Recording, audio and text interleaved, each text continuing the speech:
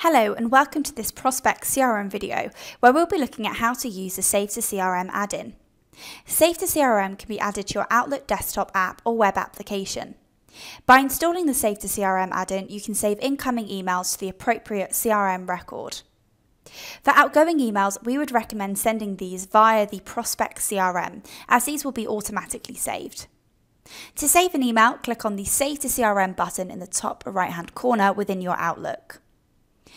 By clicking the Save to CRM button, a side panel will appear within your Outlook. The Save to CRM add-in will try to suggest some relevant CRM records based on the email being saved, such as the CRM contact that has the same email address that this email is from, also the CRM record that you last saved an email to.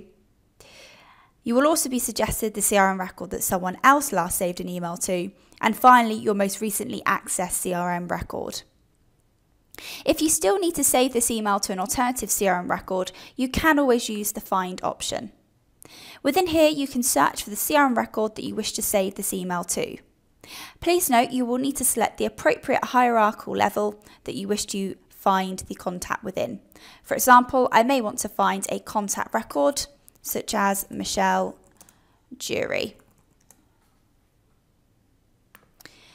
Once you have found the required CRM record, click the Save to CRM button, and then the copy of the email will be saved to that particular, particular CRM record. Please note that there is a 1 megabyte storage limit for each email being saved. So let's take a look in the CRM at how the email looks. So if we find our contact record of Michelle Jury using our recent search, We'll then be able to refresh this contact record. And then within our activity section, we have the document that we have just saved.